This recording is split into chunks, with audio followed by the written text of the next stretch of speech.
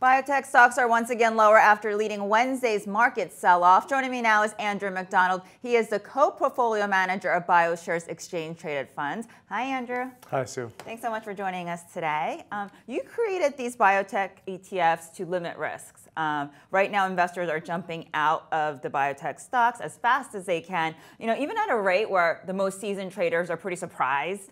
Uh, do you think the sell-off is validated, or is this an overreaction?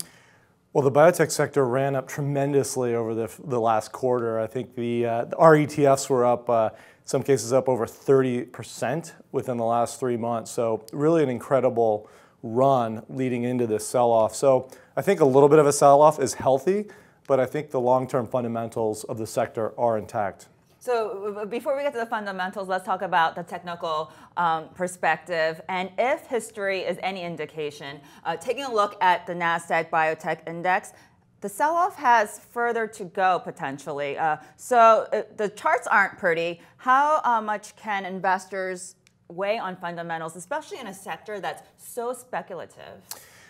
Well, that's the one year chart. And if you look at the five year chart, it's just an extension of that. It's just been going up and up and up. Really, over the last six years, the NASDAQ Biotech Index is up over 400%. So, really, probably the best performing sector out of all the S&P sectors.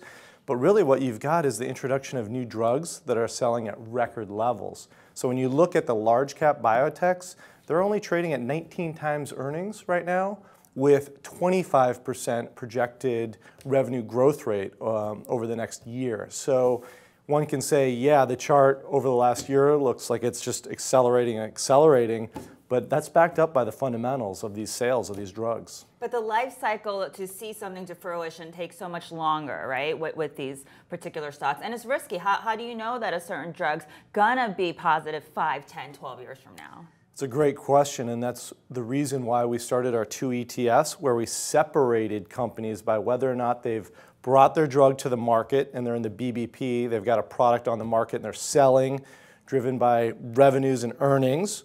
Low beta ETF, the lowest beta of all the biotech ETFs. And then on the other side, you've got the BBC, the more speculative names, the companies that are developing the next generation drugs. You don't know if they're going to reach the market. Some of them will, many of them won't uh, own the basket. And let's just quickly take a look at some of your favorite stocks right now. ZS Pharma, uh, Gilead Sciences, Anacor Pharmaceuticals. Why do you like them? And quickly, what are your positions on them, long term, short term? Sure. So ZS Pharma and Gilead I both own personally, and LifeSci Capital, our investment bank, was a co-manager on a recent ZS Pharma deal. This company's uh, got an amazing drug for the treatment of hyperkalemia. They've completed their phase three trials. They're going to be filing with the FDA uh, in the first half, and they'll get approval for it next year. The market cap is just over a billion, so on a relative valuation, it's actually quite cheap right now. In terms of Gilead, Gilead is the, one of the biggest biotech companies. They're actually trading at uh, around 10 times earnings, heavily discounted relative to their peers. They are selling this new hepatitis C drug, record sales, best-selling, uh, best drug launch of all time, period, curing the disease but people, investors are thinking about, well, what is sales going to look like five, ten years out when there's competition uh, and you've cured so many patients?